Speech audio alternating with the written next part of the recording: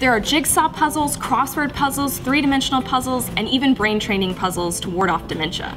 This affordable and entertaining pastime is still going strong today. So let's piece together the history of this centuries-old puzzle on this episode of Half Price Books, All Things Printed and Recorded.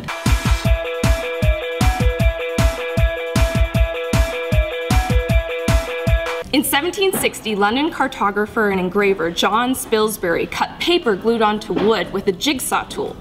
He clearly didn't have to puzzle very hard to come up with a name for this new product. Hmm. Jigsaw?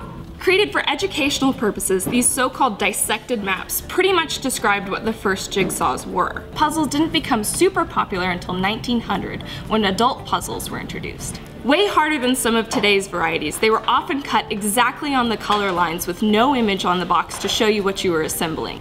And if you sneezed in the middle of working on one, you could blow the whole thing. People went crazy for them anyway, even though a 500 piece jigsaw cost $5. That's a pretty steep fee for the average worker who's only making $50 a month. By the 1920s, the game manufacturer Parker Brothers figured an affordable die cut variety, plus a fun way to hide shapes inside puzzles with pieces cut like birds, flowers, or letters. Suddenly, puzzles were a top diversion and reached peak popularity right in the midst of the Great Depression.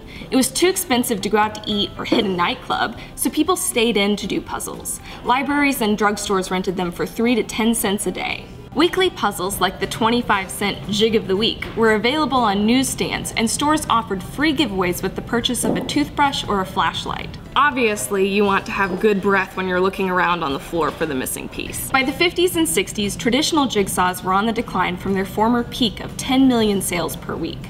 But that didn't stop manufacturers, who went back to the luxury market of hand-cut and custom styles and more pieces. The average jigsaw comes in at just over a thousand, but in 2011, a university in Vietnam debuted one that clocked in at a whopping 551,232 pieces. And there was still one you probably couldn't find. This has been Half Price Books, all things printed and recorded. If you'd like to learn more about the history of puzzles, check out our blog at blog.hpb.com. Until next time!